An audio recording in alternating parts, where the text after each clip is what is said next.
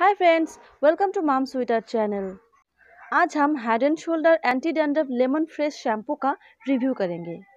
बहुत ही बढ़िया है, ये एक वाइट बॉटल में फ्लिप कैप में आते हैं। इसका अगर प्राइस की बात करें तो ये 360 सिक्सटी मिल जाता है टू सेवेंटी फाइव रुपीज़ में।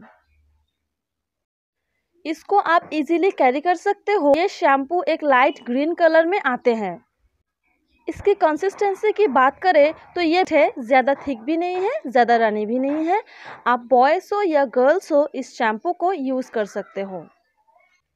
इसका स्मेल इरिटेट बिल्कुल भी नहीं करता है, बल्कि ये लेमनी फ्रेश स्मेल बहुत अच्छा भी लगता है।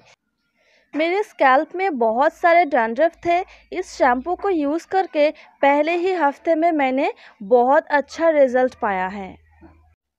अगर आपके स्कैल्प में ईचिंग होते रहते हैं और उसकी ईचिंग करने से कुछ ऑयली वाइट सब्सटेंस नेल पे आ जाते हैं तो आपको डैंड्रफ है। और आप अगर इस शैम्पू को चूज़ करते हो तो आपने सही चुना है। इसका यूज़ से आपका हेड में कूलिंग फील होगी एंड पूरे दिन फ्रेश रहोगे। इस प्रोडक्ट की लेमन फ्रेश ग्रेसी हेयर को रिपेयर करता है। ये शैम्पू आपके हेयर से ऑयल एंड डस्ट सबसे ज़्यादा डंड्रफ को खींच लेता है, यार्स में वॉल्यूम लाता है।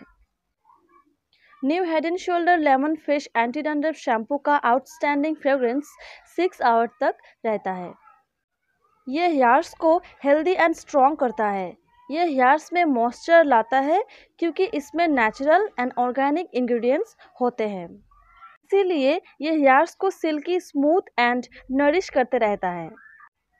इसका इतना बेनिफिट्स के बाद भी ये शैम्पू ज़्यादा यूज़ नहीं करना चाहिए। आपको मैं मेरी एक्सपीरियंस की बेस में बता दूँ कि आप हफ़्ते में इस शैम्पू को एक बार ही यूज़ करें। अगर आपके स्कैल्प में ईचिंग करते हैं डैंड्रफ है तो। नहीं तो अवॉइड करें। हफ़्ते में दो तीन बार शैम्पू करना एनफ होता है तो बाकी के टाइम में आप कोई ऑर्गेनिक दूसरा शैम्पू यूज़ करें। ये शैम्पू अगर आप समर्स में यूज़ करते हैं तो ज़्यादा बेहतर है। शैम्पू से ज़्यादा अच्छा रिज़ल्ट पाने के लिए शैम्पू में मिलाइए रोज़ वाटर और एलोवेरा जेल। इसके बाद हेयर्स को वॉश कर ले। इस शैम्पू का यूज़ से आपका स्कैल्प से रिलेटेड बहुत सारे प्रॉब्लम दूर हो जाएँगे। आज के लिए बस इतना ही। फिर मिलते हैं एक नए वीडियो के साथ। तब तक के लिए अच्छे रहे, खुश रहे।